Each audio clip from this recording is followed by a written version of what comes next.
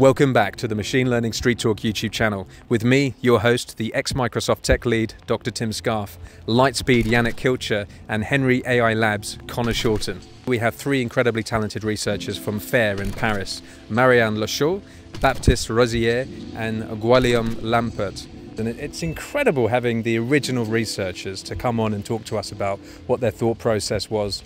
Having the authors of a paper on the podcast is always a very special treat because you kind of get to probe not only the paper itself, but the, the thinking process behind it and kind of the experiences made. Like, look into a real project of research, and that's pretty cool. So, here's an example where it's pretty straightforward idea, and it seemed to work pretty well, and all that's required is a little bit of thinking outside the box.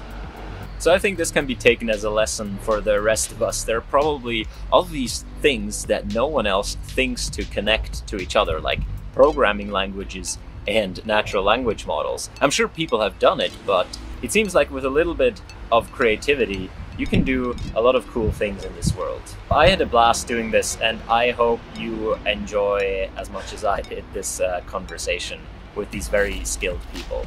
Uh, have fun. Now, the really innovative thing they've done is created an unsupervised language model for programming languages. In neural machine translation, there are typically lots of examples of language pairs translating from one thing to another thing. That doesn't really exist in programming languages, so the encoder part needed to be completely unsupervised, looking at individual corpora of programming languages. Now, the way that they've done this is programming languages have a significant intersection. Even if you compare, say, Python with something like C Sharp, you'll be surprised that many of the tokens intersect each other, especially if you break down the tokens using word piece embeddings, which is the modus operandi in the language processing world at the moment. So it's actually a reasonably simple idea, but they've got incredible traction with it, and it just works very, very well. I have just a big database of documents, and these documents, I, I know they're all they're all in English. Okay, and I have this other big database, and I know that they are all in German. I just know their documents are in German, but they don't correspond to each other. They're just German documents, and over here they're just English documents. They don't. I don't say that these two here are somehow the same. No, I just have a bunch of German, a bunch of English. They don't even have to correspond. They're just text. And now what I want to do is I want to learn a shared embedding space. I sort of want to learn a shared space of embeddings for these two languages such that similar things are mapped to the similar place. So if these two documents just happen to talk about the same thing, I want them to be mapped to similar spaces in this shared embedding space. So I'm going to have one model, a single model, where I input the text and it goes into this shared embedding space, okay? Now, this is unusual because usually in machine translation, if you translate from here from English to German, then you'll have your dedicated model that takes as English as an input and German as an output. So first of all, how do we make the same model? Let's say let's say we have the perfect encoder, right? This is E, the encoder, the same encoder for all languages. Let's say we have the perfect encoder and it can map the if, if, whenever a sentence means the same thing in different languages, we can completely map it to the same point in embedding space, irrespective of the language it comes from. One of the things we spoke about in the show is the potential for something like this to revolutionize software engineering. Maybe in the future you can use your own programming language of choice and your IDE or even GitHub would store an intermediate representation. So currently we have a real specialization of languages and lots of people use different languages for different reasons, but something like this might bridge the gap in a strange way.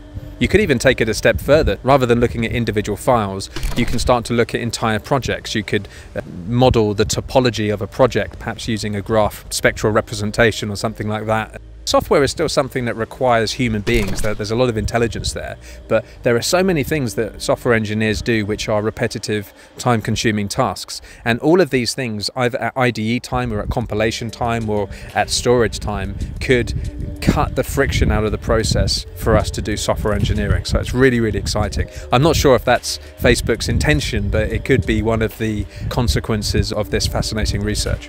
So the paper we're looking at today can take the code on the left, which is written in Python, and can output the code on the right, which is written in C++.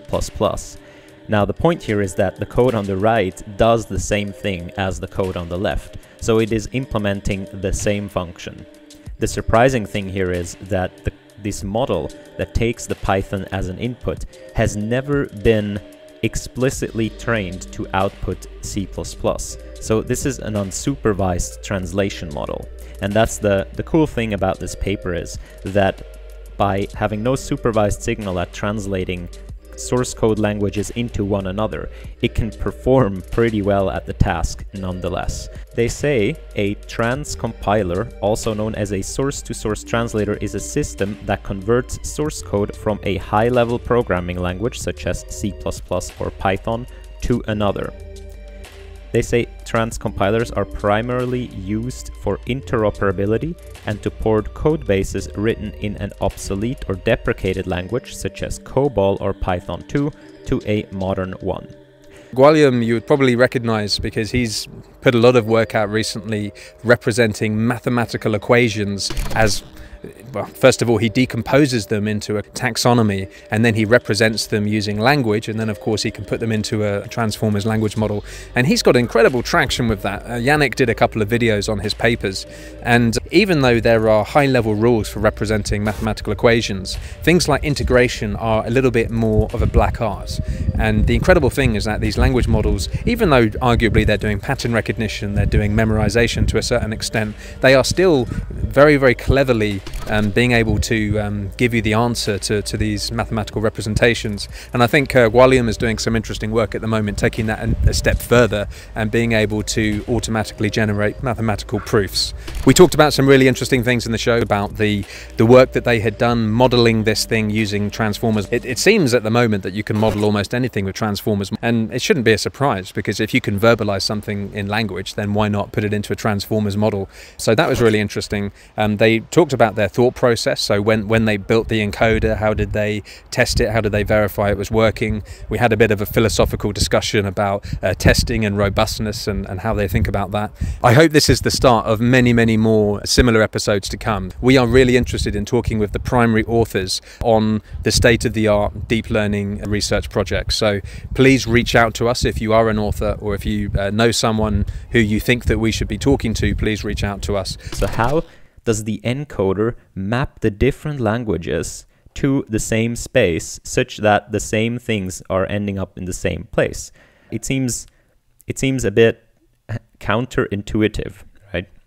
Because it doesn't know which things correspond to which things. Now the first thing you need is a shared vocabulary here. Since we are in a shared space uh, right here, the what you need is a shared vocabulary. So you tokenize all of the text with a shared vocabulary. And this vocabulary is going to consist of sort of word pieces. Now, if you don't know what word pieces are, in a word piece uh, tokenization, what you would you, what you would do is you would split words into so-called word pieces. So, for example, hello right here might be split into two word pieces. The first word piece might be hey, and the second word piece might be LLO. Okay, there is usually like some kind of indicator here that this is the end of a word and so on, but we'll simplify. And hello right here would be a HA for the first token and then LLO for the second token.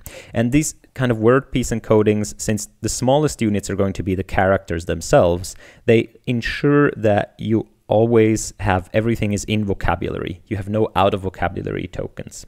But here you can already see that if we tokenize the languages like this, and then we use the same encoder. So the same encoder will pop them into this shared space. That means that to the model, this and this looks like the same thing. It is the same thing, right? It's the same input token in different languages. How do we tell the decoder, which is also the same model, like how does it know what to do? This is a little trick where you basically you take this embedding so you take the input you put it into your model i don't even know how you go this and then your output is going to be autoregressive right? So you decode one token at a time. So you decode this token and then you feed it back into the model and then you decode this token you feed that back into the model and so on. This is an autoregressive language model and the trick here is that the first the very first token is a special token that describes the language you want to output so here you say i want german and then you let the model decode its its thing. And by conditioning on this token right here, it knows it should now produce German. Uh, you will simply, during training, you will simply put the token here, and if it produces something other than German, that's a, a loss, right? So it will learn to produce German after you produce this tag. Remember to like, comment, and subscribe. Hit that notification bell. We love reading your comments. I've always I've mispronounced this like a hundred times. People told me in the comments it's Guillaume, not Guillaume. yeah, people people in the comments on these papers they were like, aren't neural networks just universal function approximators? Why is this surprising? And like, that's yeah, good. Amazing. Cool. Well, welcome back to the Machine Learning Street Talk YouTube channel and podcast.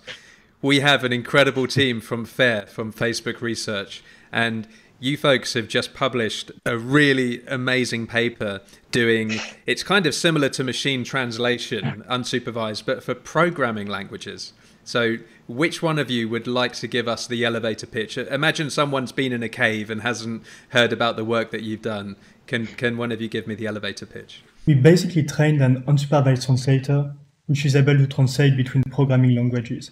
And in this paper, we tested in, on Java, Python, and C++. So the previous methods that uh, were used to do that were mostly rule-based. And basically, people will uh, just encode a lot of translation rules to, to be able to perform these translations. And of course, that's very time-consuming, and it requires a lot of expertise in both the source and the target language also these uh, kind of programs are not very generalizable. Like if you imagine that you already coded something which is able to translate from C++ to Java, and then you want to translate to Python instead, uh, well, you basically need to start over from scratch. So there are also some machine learning methods that were developed to translate between programming languages, but they were often limited due to the very limited amount of data available for programming languages. And there, there are some examples of projects that were translated from a language to another. And so it gives some amount of data, but it's not the case for every language pair. And generally, the number of examples of functions that uh, with a correct translation are only in the tens of thousands. And so they were not able to do that for any language pair and the performance were quite limited, even when they were able to do it. So that's why we decided to develop a completely unsupervised method for that. And so we are able to train on a lot more data, and it's very easy to generalize to more language pairs because you just need to code some, to have some code to tokenize um, the input code and to detokenize on the output. And it turns out that it's better than rule-based methods for Java, Python, and C++. The, the interesting bit here is this really that is it is unsupervised. And I've seen a lot of papers in unsupervised translation and they kind of try to align the latent representation and so on. But your paper does something, relies on sort of a different fact, namely that there are some things in these languages that are actually the same words, like minimum, like min or abs, like all kind of functions like if statements are the same. How how important exactly is that? Or could could you get around this? Like how many of those overlaps do you really need to make this work? Because really all this model has to go on is these tokens that are the same uh, I think you really, as you said, so one thing that is very important in unsupervised machine translation is to actually learn some really good cross-lingual uh, representations. So your modern has to learn to align this representation, and it is uh, useful to and needed to to have some common uh, token in different languages. So with code, uh, we have the chance that you have so all the for, while, and common token keywords word that you that you mentioned, but you also have all the um, the variable names that are common because always English, so between the languages you, you find the same. And you also have uh, English token in the comments. So here we have a lot of common token that we call anchor points, and they are really uh, really useful and helpful uh, to have this cross-lingual representation, and they are needed. I think without that you, you just can't uh, align these representations.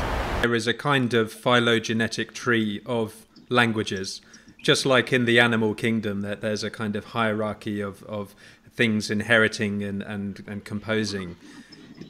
So, what would it mean to do that in, in this cross lingual model? Would you ever be able to learn a greater sphere of languages? Is it is it something like can you ever can you ever extract like something higher level or is it always between like individual languages, right? Can we ever build something where we understand all of the all of the programming languages at the same time. You're looking at leaf nodes on this phylogenetic tree. So you're looking at, let's say, Python and C or something. It kind of depends then on the diversity of the languages that you choose and how much of an overlap they have. Have you folks mm. thought about another method where you could perhaps learn uh, the evolution of the languages and, and learn it in a more holistic sense? Yeah, so there was one reason why. Uh, so typically, what happens with natural languages is that. So I think it's from this paper of Tomas Mikolov in 2013, where they show that if you train Word2Vec on English and you train Word2Vec on French, basically what you have is that you have one set of embeddings in English and you have the same one in French. And the thing is that this set of embeddings are basically like almost isometric. I mean, there, there, is, there exists a very simple transformation that can map the English embeddings to the uh, to the French embeddings. Just a rotation is, is simple enough. And the thing is that, I mean, the interesting property here was that uh, whatever language you consider, whether it's English, French, Chinese, or any language, you can basically find some some basically some mapping between these languages. And the closer they are, the basically the more this mapping can be orthogonal.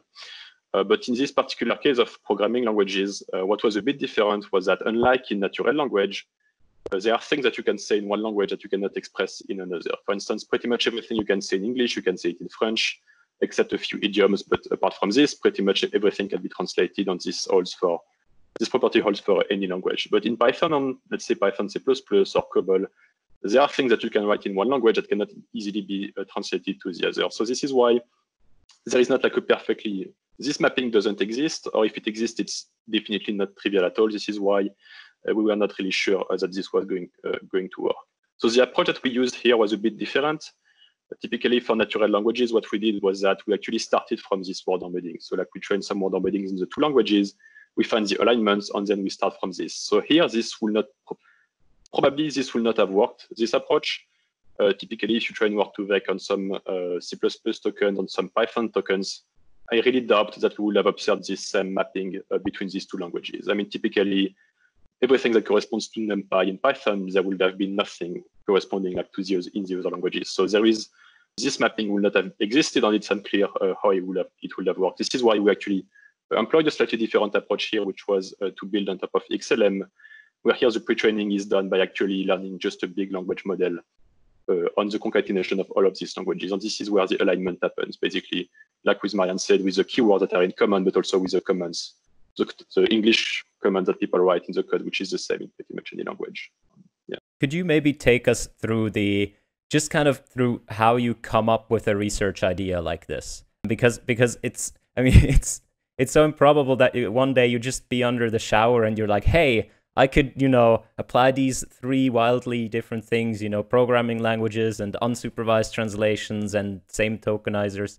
How, what angle did you come from? How did you develop the idea itself? I think a lot of people are, you know, struggling to actually come up with even ideas of what to research. Yeah, so we were thinking that all the advance we were seeing, sorry, that all the advance in uh, unsupervised machine translation work very well for all natural uh, languages for all natural languages that don't where you don't have access to any actual actually parallel data so we were seeking that as for programming languages you don't have any parallel data but you have access to a lot of uh, monolingual data. And these unsupervised machine translation uh, models work very well for natural languages when you have a lot of uh, monolingual data. We're thinking that as you can tokenize code the same way that actually you tokenize some uh, with different tokenizer, but you can tokenize code and make sequences the same way as you do for uh, natural languages. We thought that uh, it could be a, a, good fit actually for programming languages to, yeah, to try these uh, these methods. And so we we wanted to try. And we thought I, uh, actually that because you have these anchor points that uh, Guillaume and, and I uh, told, told you about, uh, this, this was a reason why, plus the fact that you have a lot of monolingual data, it was two reasons why uh, it could work. So we wanted to try. And did you? So what?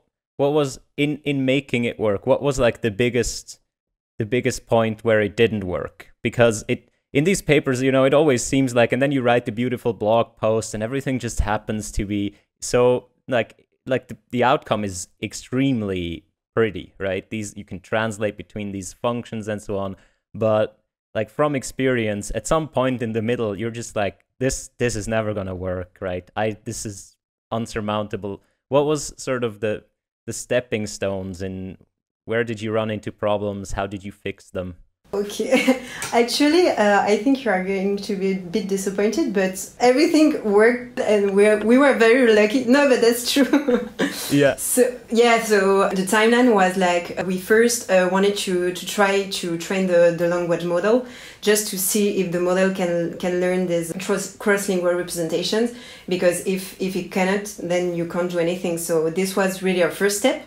So the first thing we did was to after processing, pre-processing and tokenizing the the, um, the code, we learned this language model, and the first thing that we we do was just to test it, so to see if the cross-lingual representation are, are learned. So we we um, we first check the token embeddings and to see when looking at uh, one token, for instance, one keyword like uh, I don't know int if what are the nearest neighbors? And to see if the nearest neighbors are uh, integer or an equivalent in another language. And actually it, it was the case. So for, for us it was like a, a real good step because we saw that uh, cross-lingual representation are learned. And uh, the second thing with this uh, language model is we try to uh, generate some code just to see if the language model uh, learned to generate some syntactically accurate code. So we try to on a notebook just just just this to to to give like the beginning of a, a function and to see if the model was able to generate the the end of the function. And actually it did. So we were like okay so the model is able to uh, learn cross-lingual representation is able to generate some syntactically correct uh, code. So we were amazed. And we was like okay this is a really good step to to keep going and then we we learn so the the step to to translate. And again we we just uh, test our model on on a notebook and we gave like a little function in python to see if it can translate uh, into another language. And again it was it was working. And so after we just had it was not a problem but the the, the main like effort that we uh, had to do is to to have an actual uh, metric to evaluate our model, not just to, to test on the notebook, and to have a parallel test set because we didn't have any. So we had to to to, to create one. So as we explained in the paper, we, we extracted one from from the site GeeksforGeeks. And we, we, we run, we built some unit tests to test the gener generated function and we we try to find a baseline because when you have some score if you don't have any, any baseline we, we can't we can't say that yes it worked. No if it's it's kind of hard to to to to see. So we took the the, the commercial one two baseline that are rules based baseline and we were better than the one commercial rules based baseline. So we were like that's amazing. And then yeah we wrote the paper. So we didn't yeah, everything worked well. So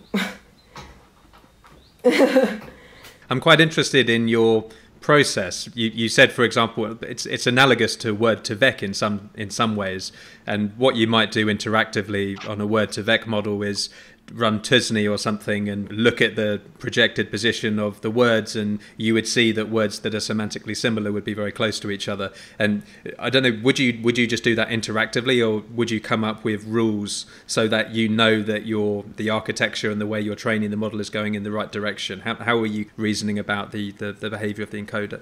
Yeah, we just tested the token embeddings.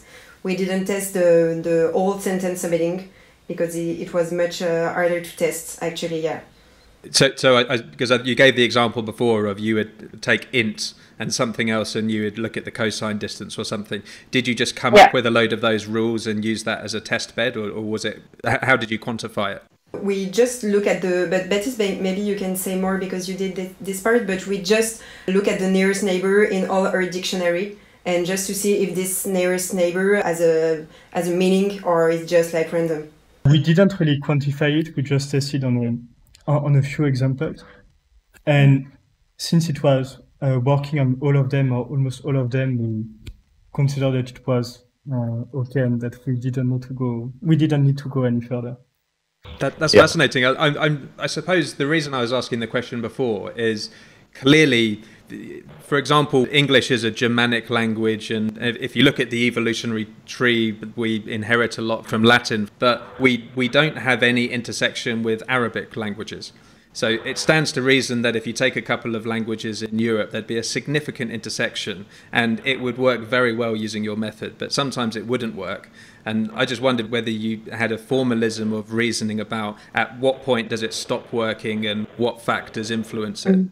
We don't know exactly what kind of uh, performance we will get if we were to use this model to translate from uh, COBOL to C++, for instance, because I mean, even the for loops are different, even the way to do um, additions and multiplication don't always use the, the mathematical operators like in uh, Java, C++, and Python. So there will definitely be a lot less anchor points and maybe it wouldn't work as well uh, with this version, and we will need to find some some more tricks to make. Learn more to back on this, so you have some embeddings for all your English words. But what we did was basically trying to artificially modify the overlap between the languages by putting some uppercase, like for in one language, so that you can you cannot have this match. And simply that, and that was still kind of working. So yeah, and even some experiments where we align English to English, but um, by training the word embeddings individually, and it was, I mean, the alignment was always perfect. You want them to share a common ancestor, but how far away that ancestor is seems to be relevant.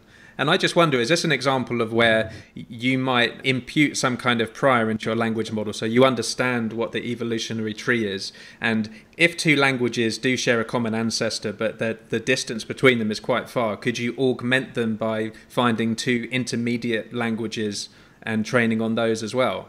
Yeah, so what we try to do, so for instance, there are some languages like uh, English and Nepali. So if you train unsupervised machine translation systems between these two languages, it doesn't work really well. So one issue with that is that there is absolutely no overlap between English and Nepali, like the, it's not the same alphabet. So what is working though is that if you train, um, if you pre-train your model with English, Nepali, but also Hindi, so Hindi is using the same alphabet uh, as Nepali, and also in the Hindi corpora, if you have a lot of English English words, which in practice happen, I mean, if you have an Hindi corpus, there will be a lot of English words here and there. So if you train a natural language, I mean, if you train a language model all these three languages, basically you will improve the performance uh, basically between Hindi, uh, sorry, between English and Nepali. So having like some languages in the middle, which is connected to the two, can actually improve the performance between these two very far languages. So it's actually what we did for English to Nepali translation, and we can actually go from a performance from like two plus score to like 15 or something like this. So it's actually it makes a very big difference. Yeah. One of the one of the things with languages is right they cannot share the tokens and so on, and then they can become hard like COBOL and C++ and so on. But there are other things that, that I kind of came to my mind where you actually do share the tokens, but that might not fall under the traditional view of a programming language. So things like like pseudocode they share a lot of tokens, right? They share, but the pseudocode, everyone writes pseudocode a bit different. And then like something like UML diagrams, like there are lots and lots, all these, all the people in companies, they write their UML diagrams, their class diagrams, and their methods and their dependencies and so on. And there should be a significant overlap between that and variable names and class names and so on. Can you ever think of maybe something like this would work where you can specify like a UML diagram and then generate the the code for it with the implementations of the functions or something like this or would this be completely out of scope? Yeah, so first for, for pseudocode, I think that the main difference between pseudocode and real code is that for pseudocode, the syntax is not as strict. And I would expect uh, our model to work on pseudocode as well, because basically it will share a lot of syntax. Uh, the for loops are very similar. You also have whiles, loops. Uh, you will generally uh, define the operations with the mathematical operators, just like in Python, C++, and Java. I think the main issue would be to find uh, a large data set of, of, of pseudocode. That's not as easy to find as for programming languages. And it would be much more difficult to, to test. Um, but I, I, think it will be doable.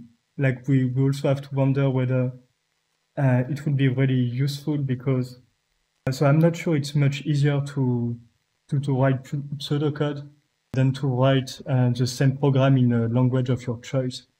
So I'm not sure there will be that many users for uh, something like that, but they, definitely it will be impressive and quite interesting for UML diagrams.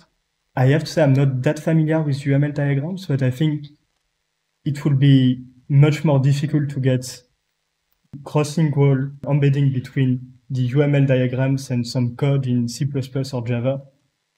Like I, I would expect that even if there is some overlap on the class names and function names, you will have less anchor points and you, yeah, I expect it will be much harder to find enough anchor points to get a truly multilingual embedding. If you had a very big data set of parallel data between UML diagrams and classes that implement these UML diagrams, you could do something, you will have some other problems to take care of because if it's a UML diagram for many classes and a pretty big project, you will run into some memory issues, but yeah. uh, I guess there will be some ways to to go around that, like maybe to generate the classes only one by one, to have a a, a way to distribute your your, your data on uh, many machines at the same time. Uh, but I guess in, in that case, it, it will be doable. I mean, what, what I find so interesting about these neural approaches where you actually learn on a data set compared to these rule-based things is that if I apply the rule-based thing, it will surely be correct, but it will I will probably not understand it, right? It, it's like, you know, if I write my TypeScript and I transpile it to JavaScript, it looks like garbage. It looks and if, if I minify it even more, what I love about these methods is that they they take the human element into account. And it really it really shows you that programming we think of it as a computer language, but it programming is a human language because I can write the same function in one way where everyone on the world that can code understands it, and in another way where I play I play Vim golf or I play Perl golf and you know uh, no one understands what i'm doing. Is is this on your mind? Like does this so i had this thought of can can we write for example a decompiler uh, that goes like let's say we would have some anchors for assembler or something.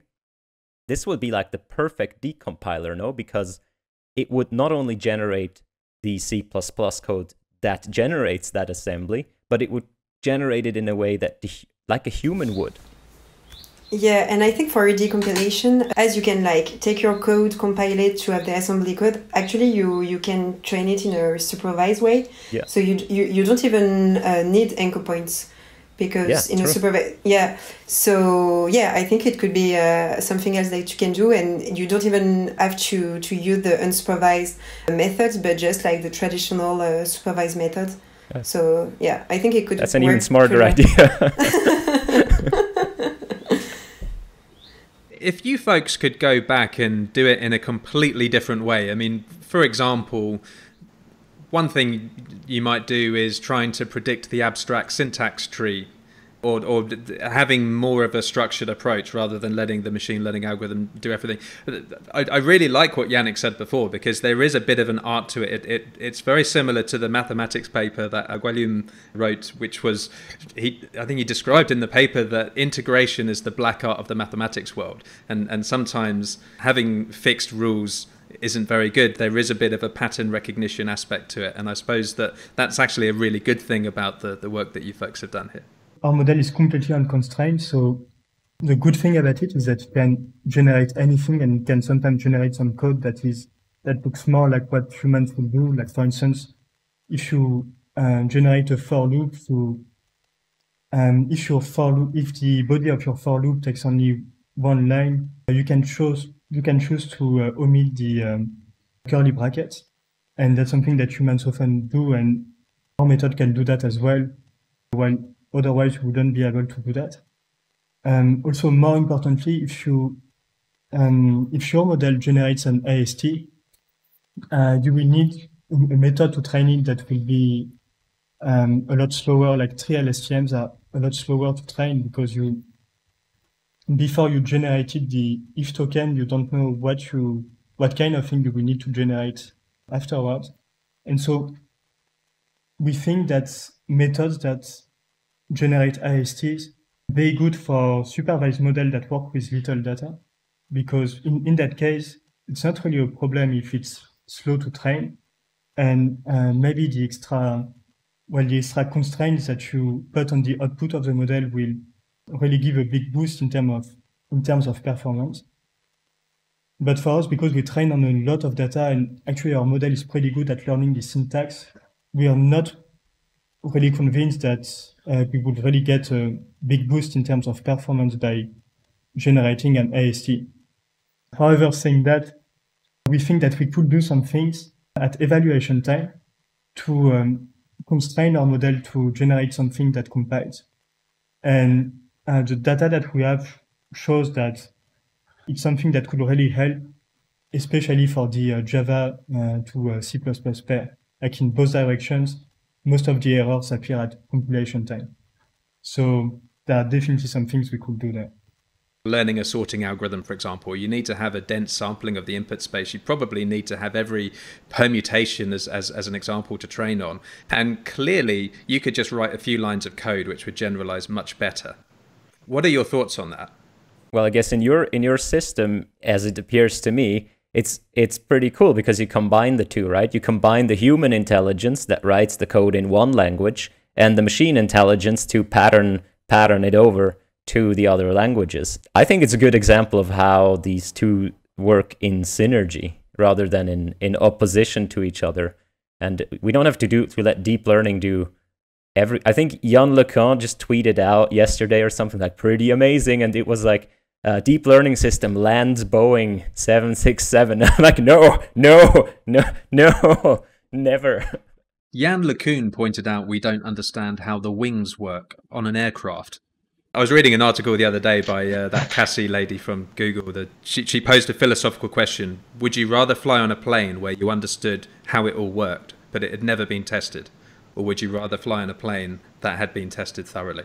I think in that case, uh, whether you can understand the system, the machine learning system only matters if, if you think it's a good pro- proxy for how well it will generalize to other test sets.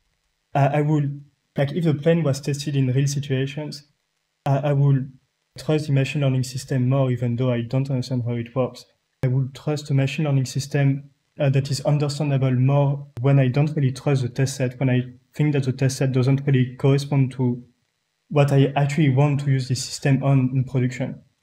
But otherwise, if uh, my test set is exactly uh, corresponds exactly to the use case I want, uh, then I don't think I need to understand what the system does, unless there are some legal reasons for that. But you could argue that even if it generalized to the test set, that was still local generalization. And clearly, in, the, in these high dimensional, semantically complex data sets that we're working with, there will be many things that we might see in production that were not in the test set. Yeah, yeah, it's true. But if you if your test set is some part of your production data, and if you're confident in enough that the world is not changing too fast, and that this part of your production data that you got at that time is still relevant today. Something that you can trust very much. The other thing is, Chollet says in these perception type tasks, and I, I, would include language in that, the work that William did on mathematics, that there is a subjective element to it. it we're not in the rules based world here. But we could take it a step further. What do you folks think we could do to revolutionize software development? What if I no longer have to know multiple languages? What if I could just use any language I wanted to on a particular coding file and the IDE or even Git would actually learn an intermediate representation? C- could we revolutionize software with something like this? Well, let me expand on that question a bit. Are you trying to revolutionize software engineering or is this just is this just basically is this just you being researchers or is there actually something that you're pushing for here? So it's I think when we did the project it was not just for research but really we wanted to to make it work and make it used. But we don't think that with the performance that we have now this is something that can like really revolution. I think we still need to we don't want to replace software engineers. We want to maybe help them but not replace because uh, with the system that we have now we we it can help to translate a function, but you still uh, need to have a software engineer that uh, check that the function is correct. And to uh, translate all projects, you still need some work. So we we want uh, this tool to be to be used, but we don't we don't think it can revolution all the world of the computer science world and and replace all the software engineers because we read something like that, but no, we don't think so. Maybe a first step to revolutionizing software. And we hope that us and some other people will build upon that and that, that at some point this revolution will, will happen. Uh, but yeah, we, we're not there yet. There, there's some work to do. Yeah. So a, a related question maybe, what what is because I've I've been wondering about this generally about the research labs in these big companies. Facebook as a company, it's like it's not they don't have like an IDE that they're, you know, developing. They don't they're not, you know, do they? I don't think they own GitHub. They might by now, but so so is there like a a product push from the Facebook side, or is it, or more generally, how much how much do you in the research lab have to go towards a product of the company, or how much are you basically just do whatever you want? I think there is a lot of freedom basically in what researchers and engineers can work on. Basically, people are free to work on whatever they, they think is interesting. It's kind of a fundamental research lab. And so people work on some things that are very practical, like machine translation for resource languages, for, for instance, something that is very useful to, to Facebook. But some people work on some very theoretical aspects of things, or even on, on some like reinforcement learning for gamings, like StarCraft, for instance. So it doesn't have to be something which is necessarily useful for the the Facebook website. There is the, the research lab is not designed to actually develop things that are useful for the Facebook website, but when it is useful, then it's it's definitely good. I mean, people usually like to see their things put into production and see that the research actually actually useful, but it's encouraged basically. Yeah, and then once uh, some research is used to be useful for production, it's not the team uh, of FAIR that is going to put it in production. Then there is some discussion and collaboration between some production team and the research team. So basically, we do the research, and then if it's useful, other production team are, are going to, to use it and and work with us to to put it in production. That's very cool. So it's not it's not really you don't really have to orient yourself towards a product. No. How much do you have to orient yourself towards what the senior research and maybe Guillaume listen away uh, for this one? How do how much do you have to orient yourself to what the seniors want, or how much are these ideas coming bottom up? Because I'm I'm very I I know academia right, and here you know it things work maybe a little bit different. How much is their top like? How often does Yann LeCun show up and say? Here's our research direction, right? This is what we're going to do as a team. Or how often do you come and say, look, here is something really cool that I would like to investigate?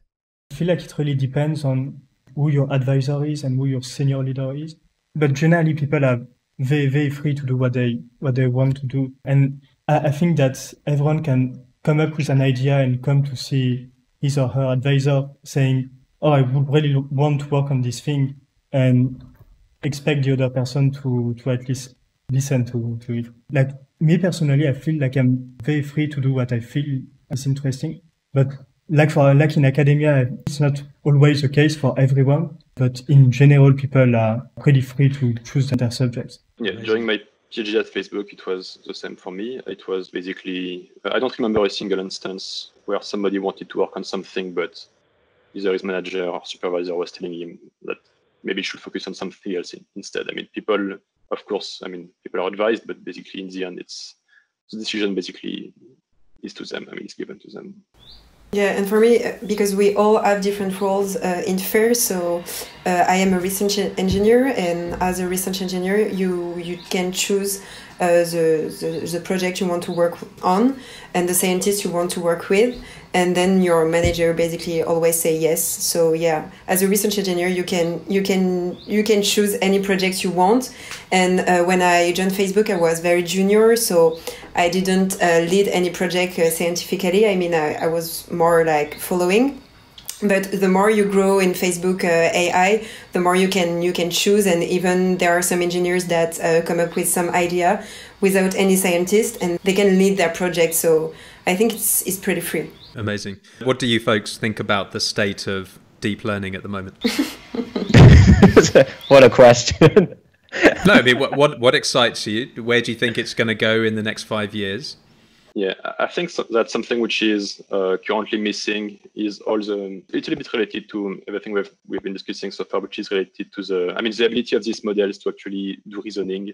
For instance, uh, reasoning, but also uh, interpretability. For instance, if you if you do some question answering, you ask a question to your model, it gives you some answer. So can you explain you why? Can it explain you why it gives this output and not something else? And can you actually, even when you perform some uh, integration or if you output a function, can you guarantee that this is correct? And is there basically some way to have a model which is not rule-based, but you know that can that can manipulate symbolic elements, for instance, not be not only doing some fuzzy reasoning and basically guess the answer, and then you have to manually check that the answer is correct. Can you have some deep learning model that can actually uh, guarantee that whatever they're telling you is, is correct, basically?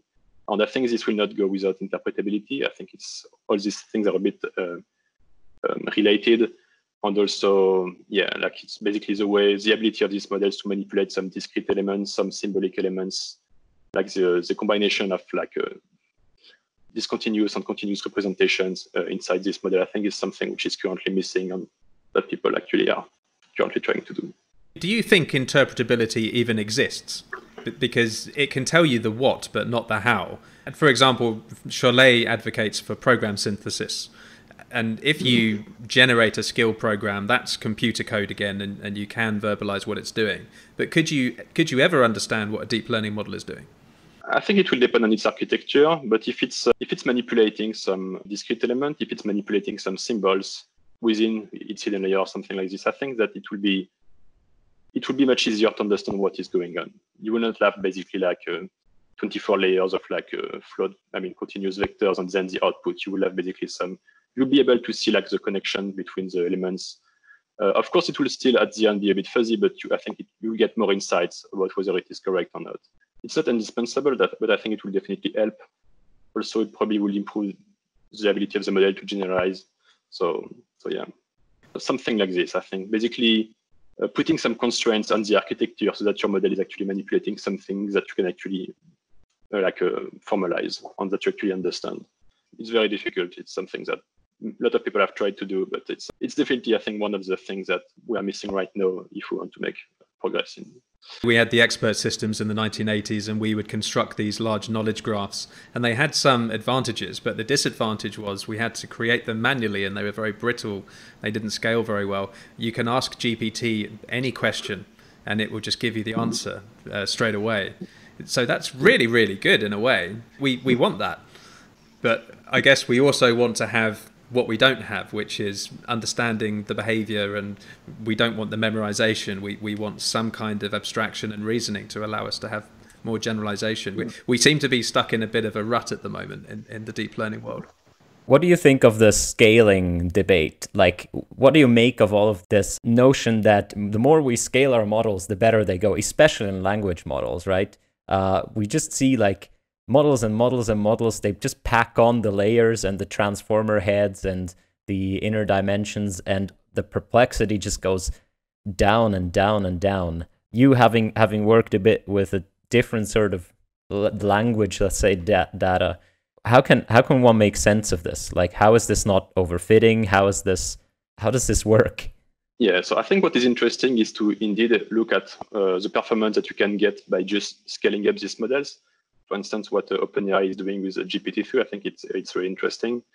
Uh, I mean, basically, we still don't really know like what is the ultimate performance that we will get by just like scaling things even more. But but yeah, I think in the end we were. I mean, for instance, they basically had some some very good results on pretty much all the tasks like translation and question answering and everything. But there were some tasks where clearly the model was struggling. For instance, doing some addition of large digits or like multiplication, which I think kind of shows a, kind of the limitation for what we will do by just scaling current models without having some significant changes of architecture or something like this. So I think it's very interesting to see how far we can go by just scaling things.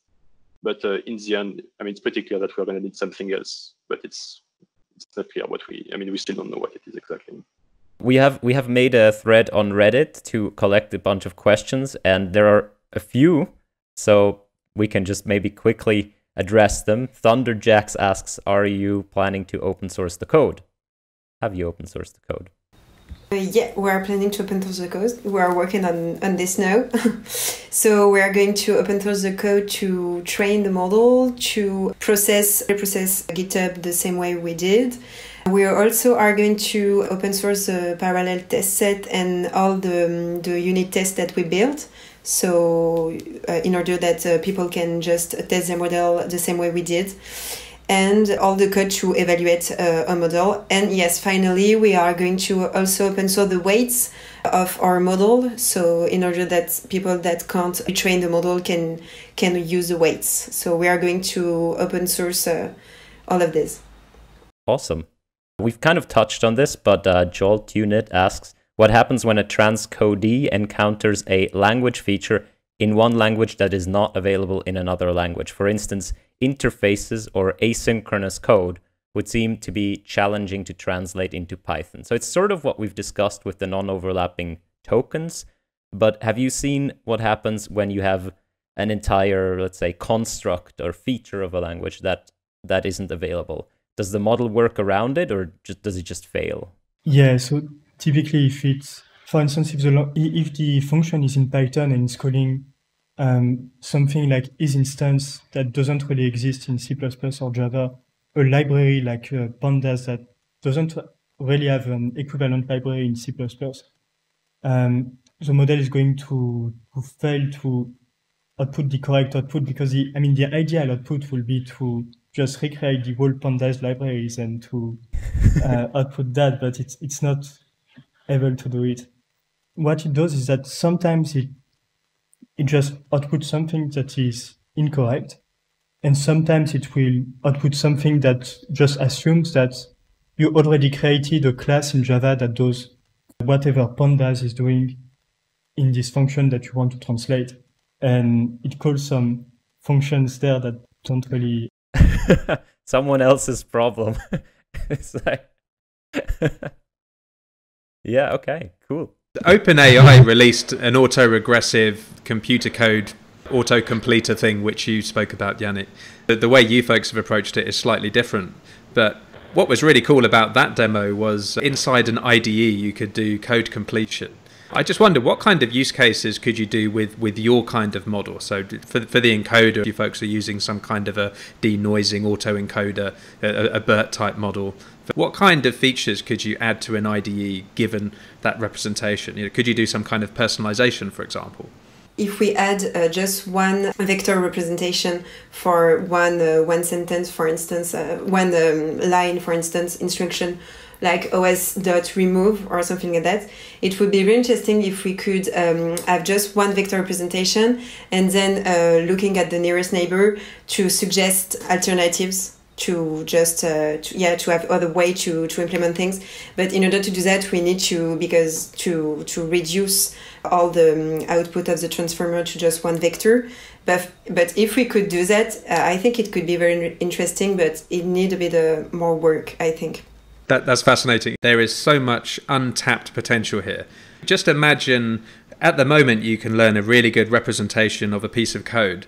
But what if you looked at all of the projects on GitHub and, and learned the topology of all of the files in a given project? And if you can embed all of these into some vector space, and it, we're almost taking a step towards being able to create software automatically or yeah. being able to interpolate between two software programs. And what would that mean?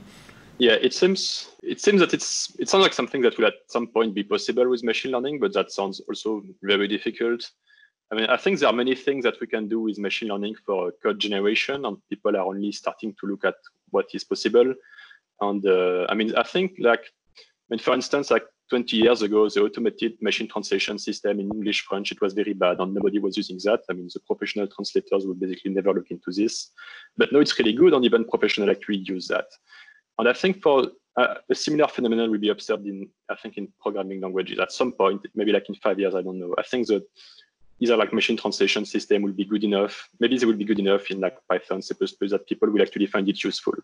It will never be perfect, but I think it's going to be good enough that actually people actually have a, I mean, find it interesting to use it.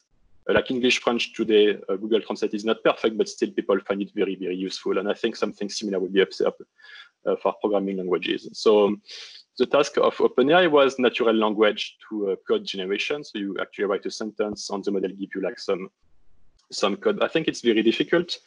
And I don't know when uh, something like this will be like fully operational, but just simply translating function, I think is something much simpler and it could be useful like I think very soon, like maybe a couple of years, something like this.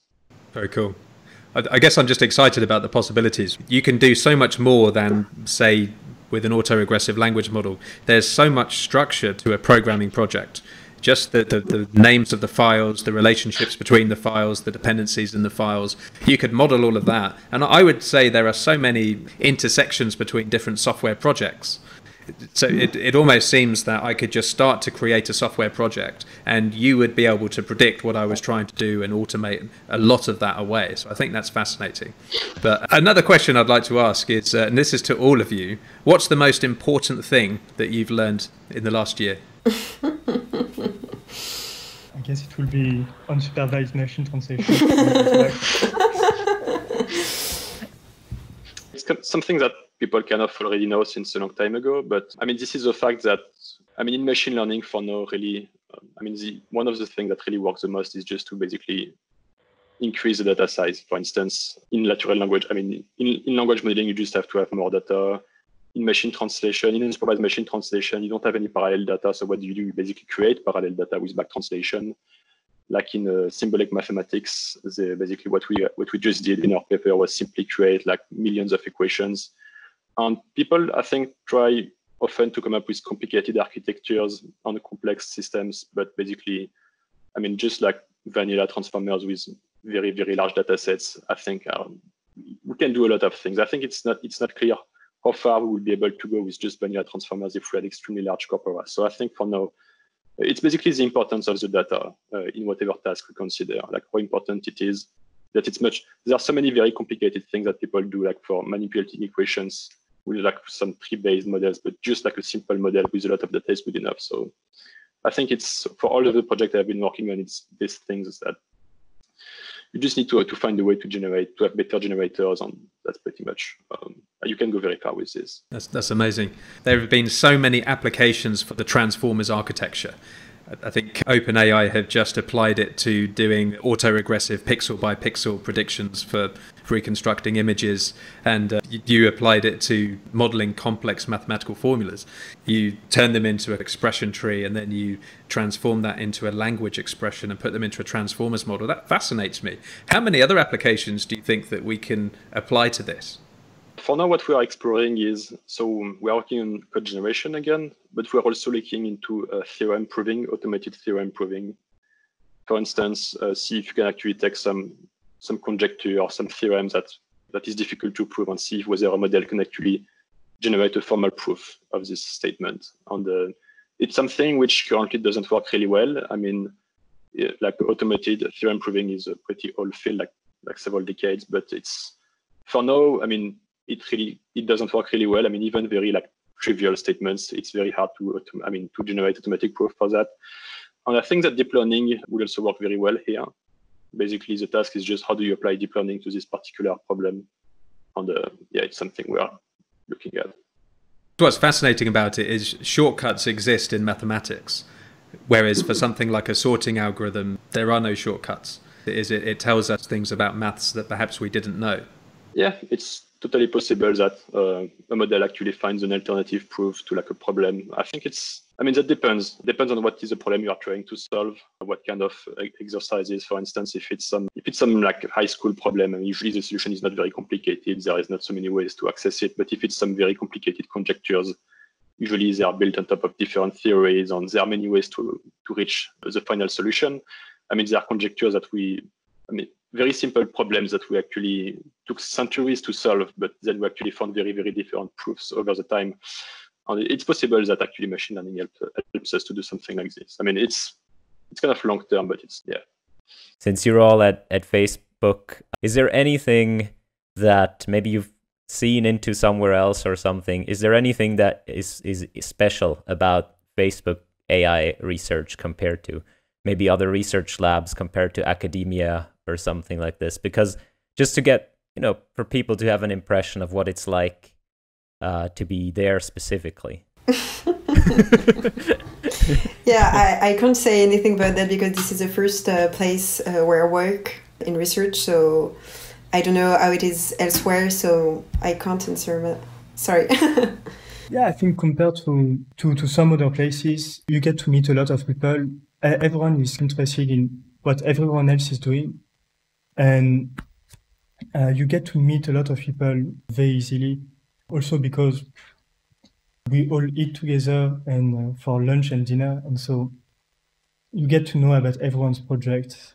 And I, I feel like compared to some other places where I've worked, uh, where I was only getting to know people in my immediate team very well, I'm meeting a lot more people and I, I'm learning about a lot more different projects than before. Well, I'm personally incredibly jealous. I think you folks are living the dream. You're working on cutting edge deep learning for Facebook research. So, um, incredibly jealous.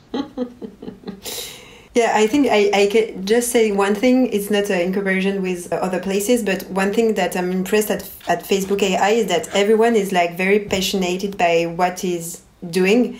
And so like ideas are going everywhere and everyone loves i think uh, what it does. And i think it really make a difference because uh, they everyone like uh, have pleasure to as baptiste said to to discuss everything even at lunch or uh, after work. And and this atmosphere or like uh, loving what you're doing i think it's really making a difference.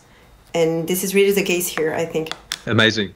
Well, in which case, I, I, think we should we should round this episode off. But folks, thank you so much. Honestly, it, it, your work is inspirational. We really appreciate you coming on the show, and uh, I hope that after you. you release your next paper, you have to promise to come back. sure. thank you for organizing and receiving. Thank yeah. you so much. Yeah, thank you very much. Brilliant. Thanks a lot. Remember to like, comment, and subscribe. Hit that notification bell. We love reading your comments.